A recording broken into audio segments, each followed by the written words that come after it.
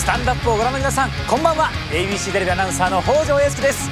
私は今東京ドームに来ています。そう今夜のスタンダップはプロレス特集です。ということで今夜のスタンダップは先週に引き続いてのプロレス特集。大阪大会開催が迫る新日本プロレスの魅力をお届けします。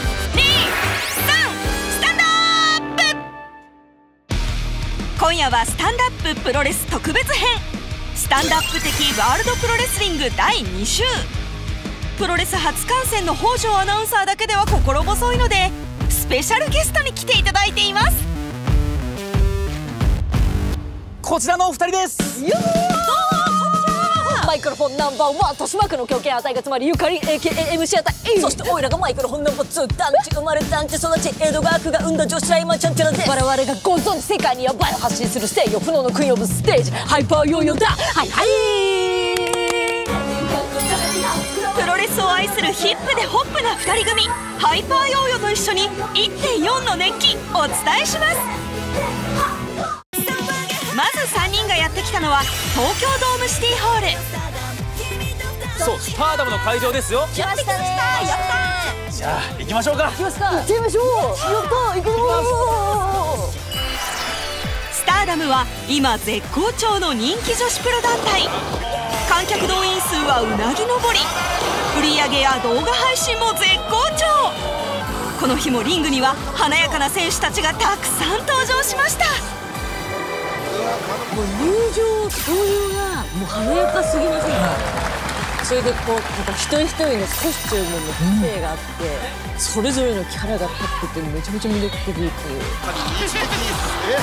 うわもう煽ってるあほらもうあの一緒に盛り上がってるこのプロレスですなるほど。はい、この楽しみのもう醍醐味。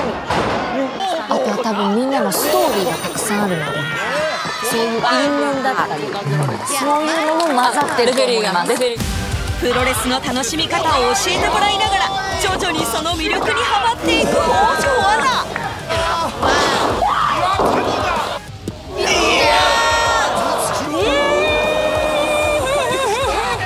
この日のメインイベント岩谷真由と首里の美しくそして激しい戦いをたっぷりと楽しみました。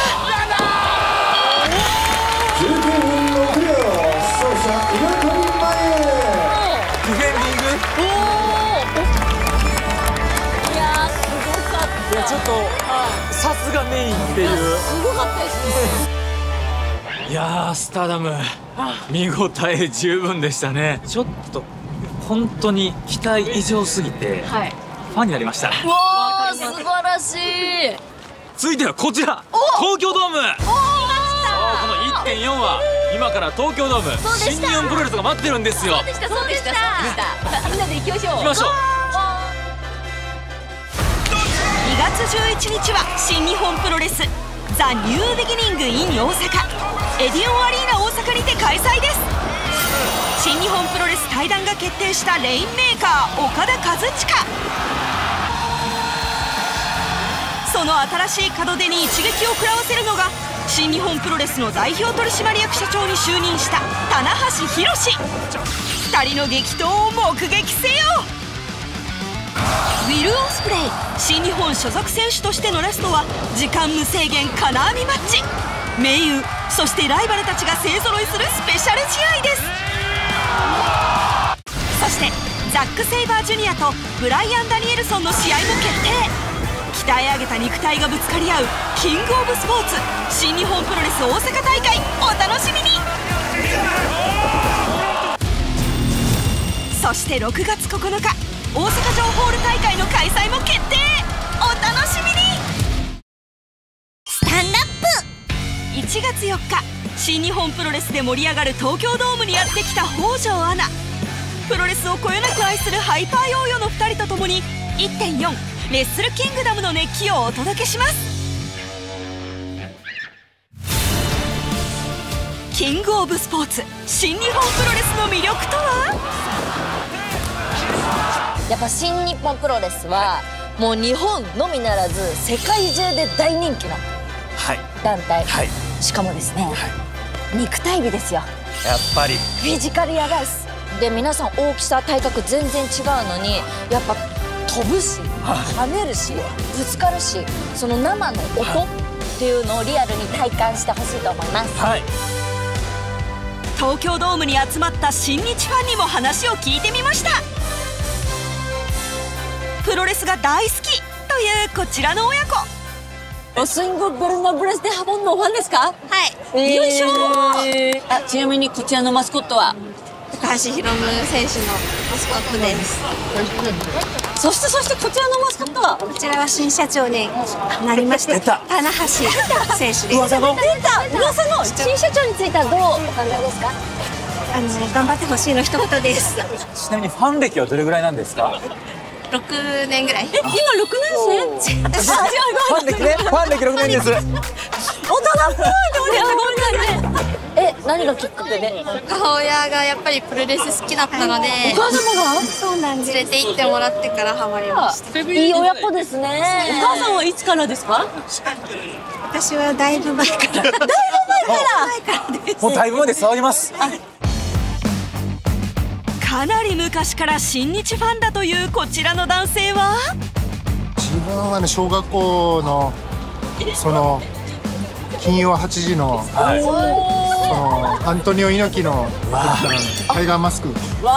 歴史を知る方ですよ。すごい。そうですね。ね。最近若い人がいっぱい出てきて、面白くなってきて。あやっぱり面白いってなるそうんです若い人が出てこないとね。わあお嫁さんもプロレスファンですか急いで全然わかんないんだけど、こういう雰囲気が好きなんだわかります何とかいらっしゃってるんですか？そうです付き添い3回目3あ回もうじゃあちょっともう好きになってるんじゃないですか？いやなってますよね。3回目は好き。お母さんと来ていた女の子にも聞いてみました誰のファンなんですか？岡田さん。おお岡田さん。岡田和親選手。レインメーカーだ。金の雨を降らせたいの？うん。ほら。岡田和親推しの女の子。プロレス観戦の楽しみ方教えてください。ど来ても悲しまないとそうだよね。奈良県からやってきたというこちらの親子は？いつから？45年ぐらい前から。おご一緒に。一緒に。じゃあ何度も見てるの？はい、お父さんと一緒に？はい、毎日ワールドで見ています。うわ毎日えちなみに好きな選手は誰ですか？えー、内藤選手。あやっぱり。えちなみにお父さんは？僕も内藤ドスプレイが好き。あオースプレイ選手そうなんだ。なるほど。将来は何になりたいんですか？えープロレスラーになりたいと思います。よいしょスタンダッさあ東京ドーム内にやってきました。来ました。もう始まってるんですけれど、はい。ちょっと盛り上がり方がもうお祭り。もう本当そうですね。そうなんです。やっぱ年に1回の一番大きい大会なんで、みんなテンションめっちゃ上がってます。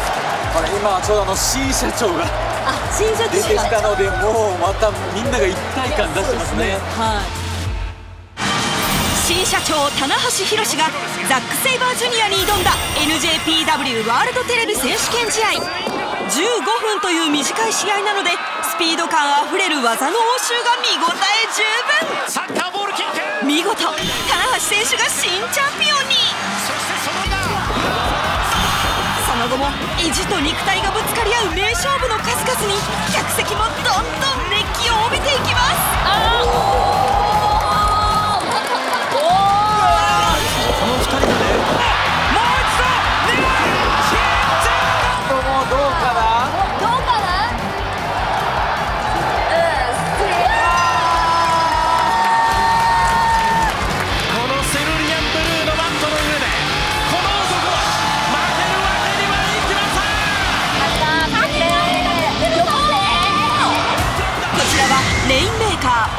ー岡田和親と世界最大のプロレス団体 WWE の元チャンピオンブライアン・ダニエルソンとのスペシャルマッチ。会場のお客さんも分かってますね。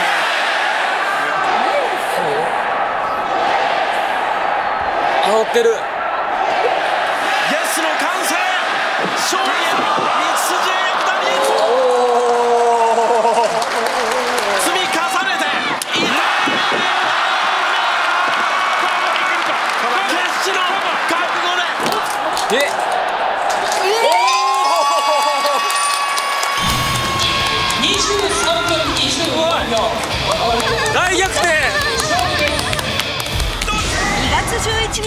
新日本プロレスザ・ニュービギニング in 大阪。エディオンアリーナ大阪にて開催です。新日本プロレス対談が決定したレインメーカー岡田和親。その新しい門出に一撃を食らわせるのが新日本プロレスの代表取締役社長に就任した棚橋宏。2人の激闘を目撃せよ。ウィル・オスプレイ。新日本所属選手としてのラストは時間無制限金網マッチ。盟友そしてライバルたちが勢ぞろいするスペシャル試合です。そしてザック・セイバージュニアとブライアン・ダニエルソンの試合も決定。鍛え上げた肉体がぶつかり合うキングオブスポーツ新日本プロレス大阪大会お楽しみに。そして6月9日大阪城ホール大会の開催も決定。お楽しみに。スタンダップ。いよいよメインイベントがスタート。待ちわびた。東京ドームでナイトチャレンジャーは内藤哲也。叫び一つになるその瞬間。そして挑戦を受けるのは IWGP 世界ヘビー級チャンピオン真田。2人にはさまざまな因縁が18年前に同じ新日本プロレスの入団テスト受けたんですよ、はい、で落ちた真田選手が今のチャンピオン。受かった内藤選手がチャレンジャーという形になっていたりさらに真田選手と内藤選手はロス・インゴベルナブレス・デ・ハポンっていうユニットの仲間だったんですよ、はい、なんですけれども最近真田選手が突然の裏切りでロス・インゴをやめたんです。そんな因縁もあったりして今日のメインイベントは大注目なんですよ、はい、あじゃあちょっともう個人対個人を超えた、はい、そんな戦いになってるんですね、そうですね。ロスインゴで過ごしてきました。そんな因縁を抱えた2人。その戦いはまさに全てを出し切る死闘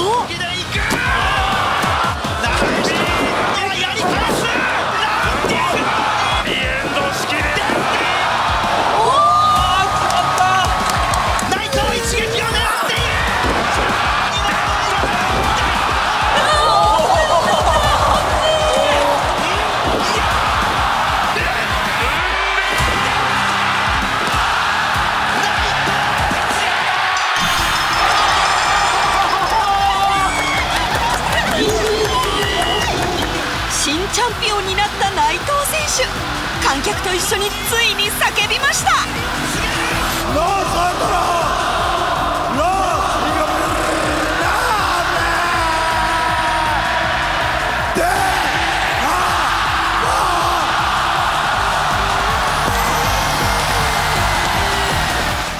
これちょっと追わないと。今日で終われない。追わないと影響が、えー、2月の大阪大会にもあるんじゃないでしょうか。そうなんですよ。これがプロレスか？えー、たまらんな。たまらんなたまらんな。終わりはないんですよ。もう全部追いかけたくなります。いやちょっと、はい、満足度がもう120%です。楽しかったすごい一日すごい